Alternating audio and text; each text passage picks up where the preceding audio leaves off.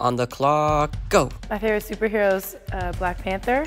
Superpower I wish I had telekinesis. Biggest role model is my mom. Role model on the court is Tamika Catchings.